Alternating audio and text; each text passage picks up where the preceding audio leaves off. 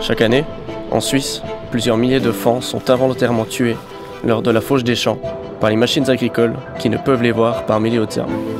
C'est pourquoi, lors de la saison des fauches, des bénévoles équipés de drones avec caméras thermiques surveillent bien avant le soleil afin de contrôler les parcelles agricoles qui seront ensuite fauchées dans la journée.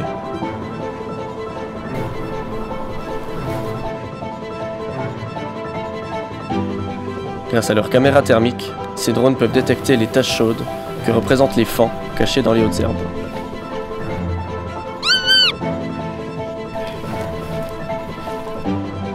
Lorsqu'un fan est détecté, il sera si possible mis sous cagette, puis signalé à l'agriculteur qui pourra faucher sa parcelle sans aucun risque. Une fois fini, le fan sera libéré et retournera vers sa mère en toute sécurité.